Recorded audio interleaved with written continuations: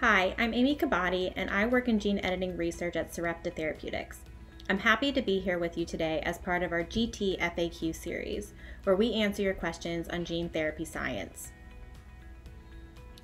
Today, we're answering the question What is the difference between gene therapy and gene editing? Well, to start, both gene therapy and gene editing are newer areas of science. There are many active gene therapy research programs, and some have progressed to become FDA approved therapies, while gene editing remains investigational. Both areas of science are exploring the potential to treat a diverse range of diseases that are caused by a faulty or missing gene.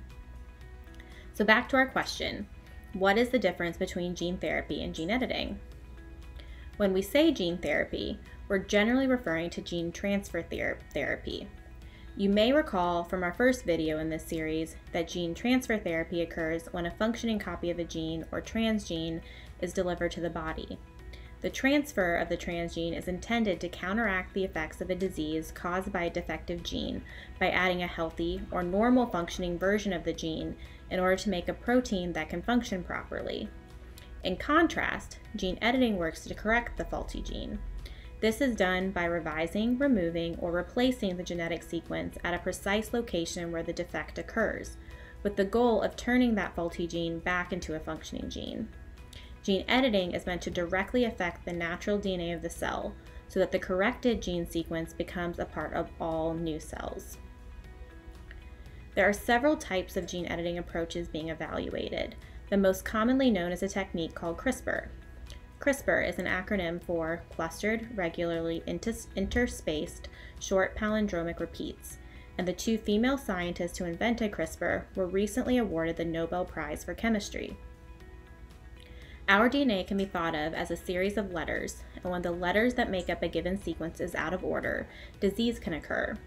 Gene editing works to correct these errors, editing out a faulty letter or letters, or adding letters to the genetic sequence, Gene editing also uses the same group of letters and rearranges them to make a new word, creating a corrected genetic sequence. Gene transfer therapy and gene editing are similar in that both seek to alter the course of a genetic disease. They differ in that one, gene transfer, seeks to add a healthy or replacement program, while the other, gene editing, seeks to modify the defect in the genetic material to make a permanent change at the genetic level. Both gene therapy and gene editing hold tremendous promise, and there are significant efforts underway to advance the science and translate the science into potential new therapies for genetically based diseases. If you have questions about what I've discussed today, or if you have any other questions about the science of gene therapy, drop your questions in the comments of this post or email us at advocacy at sarepta.com and we'll try to answer your questions in a future video. Thank you for watching.